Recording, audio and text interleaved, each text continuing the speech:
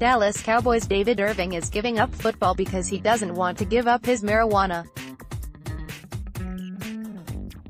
saying the NFL's league policy isn't fair, Irving, in a 17-minute rambling Instagram video, told viewers he's done with the league, pass the blunt bro, said the smiling defensive lineman into the camera while holding a joint. Weed, you're addicted to this, and that.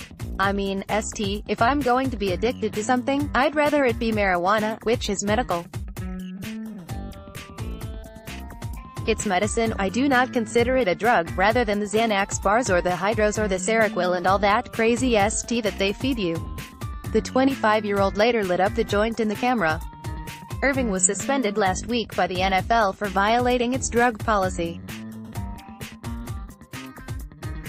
He had played four seasons with the Cowboys but only appeared in two games in 2018. Basically, guys, I quit, Irving said.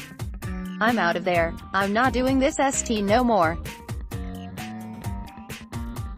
You know, it's a lot of reasons why, you know, I've come to this decision, but y'all know how it is.